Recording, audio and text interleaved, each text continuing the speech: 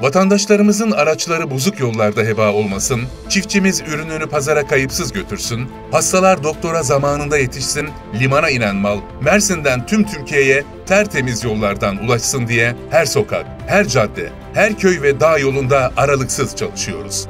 Göreve geldiğimizden bu yana 13 ilçemizde toplam 1 milyon 310 bin 533 ton sıcak asfalt, 1868 kilometre sati asfalt kaplama, 772 bin 15 metrekare kaldırım, Sevgi Kavşağı, Göçmen Kavşağı, Kuvayi Milliye Anıt Katlı Kavşağı,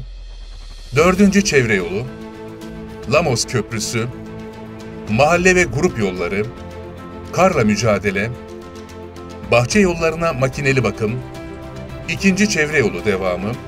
Üçüncü çevre yolunun yol kaldırım bisiklet yolu ve kanalize kavşaklarla yeniden düzenlenmesi,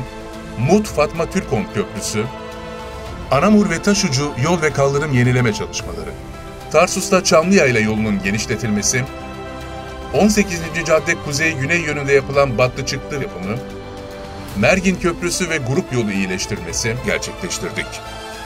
Vahap Seçer, Mersin Büyükşehir Belediye Başkanı